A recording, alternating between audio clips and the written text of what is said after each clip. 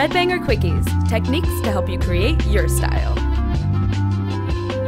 Cutting tools are really important for a good product, whatever you're sewing. One of the most important scissors that I like is what is called the tailor point scissor. The tailor point scissor is a very short scissor. It has a very, very broad spine on the blades. It also has what is called a knife edge and a bevel edge. What this does is the knife edge enables you to actually get the scissor into a fabric if you're going to open up, say, a pocket or something.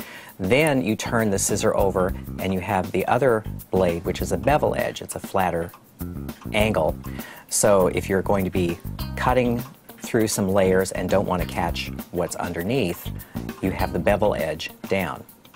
These are really nice, really sharp, really maneuverable. The fulcrum is very close to the points, so you can actually get through lots of thicknesses easily.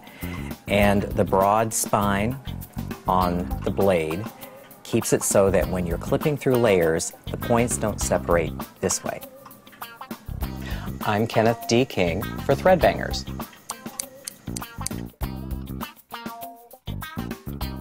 You never, ever use your fabric scissors for paper.